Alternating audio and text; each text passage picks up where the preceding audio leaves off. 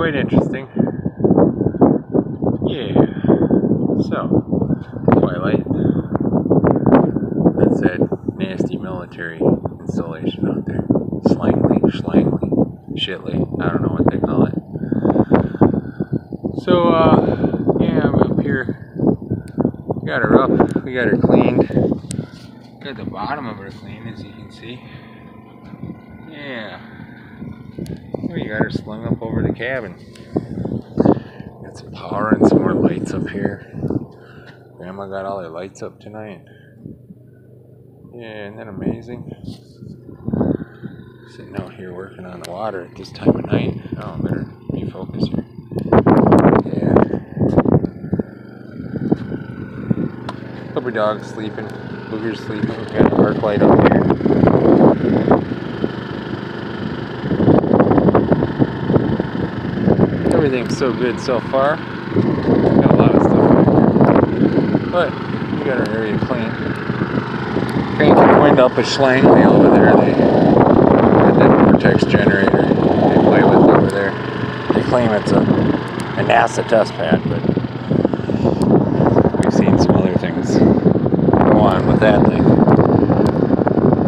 From a science mind of view. Anyways, we can plainly tell when things are not as reported. So yeah, we got her all scraped off. Just really missed one spot right there. Got barnacles up there. Yep, right there. Big old barnacles on one side. Eh, the size of my hand. If I remember to get it when I go back, it doesn't even matter. So yeah, we got her cleaned up. Gotta cut that seat mount out of there. And do some transom modification. Yeah, I tend to say this is probably catching, forcing some water up here. So this all has to be raised to here. We found out this block only had one screw. So this whole block fell down. It won't fall down now, it's probably dried in with wood. But anyways, this thing had dropped off all the way down to here. So yeah, this has to be raised all the way up to here.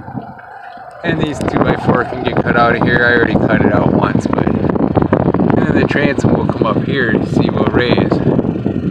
This will be almost, see it's an inch. We change everything by an inch at the end. That's why we got an inch gap there. That's why we got an inch gap here. And I put a 2x4 in because I was worried it would twist. Because the angles, the angles could change on it. But uh, yeah, we got one little leak here, I guess. Water dripping off this pod somewhere. There's a leak in here, a little pinhole. This tank. That's where it's all full of water. Yeah, it came out pretty good. And you see that? That's light coming through the fiberglass from upstairs. Kind of interesting looking, huh? Yeah, a patch job. Some uh, guy uh, we call Safety Steve uh, put this boat upside down on his truck hauling it for Bonnie a couple years ago and uh, cinched it down with some 10,000 pound straps just being sure it was extra safe and cracked the freaking hull. Yeah, the guy isn't the brightest bulb on the tree. but anyway, so we already patched that earlier this spring. So now we get to take out these bolts, put new bolts in. I gotta close the hatch so I have a place to walk. That's my deck. It's half a deck. But yeah, I gotta pull these big bolts and washers out. Three quarter inch bolts. They go through into the transom. I got a little flashlight for working in the pods. But it's nice out here. Nice sea breeze. I don't know how much of this you can actually hear. Maybe you can, maybe you can't. I don't know.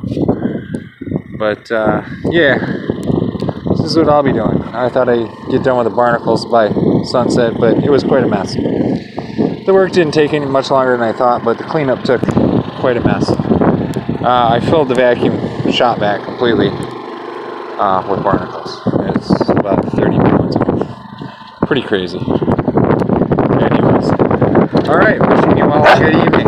And Zena says good night too, and from Boog as well. When you say good night, say good night. Tell him. What do you say? Say good night? Okay. Tell him. Alright. Oh, she's gonna tell him. Both. Alright. Hey, hey Zena, where's the boat? See the boat? Where's the boat? Hey, there's a boat. There's a boat. Right there. There's a boat. See him? Where is he? See him? You better go look better look for that ball. He's always looking for balls. Like Watchdog on duty. I don't know if it's going to let us have this video. We might have to remake it because they sometimes play games and we have too much fun. Okay. Bye-bye.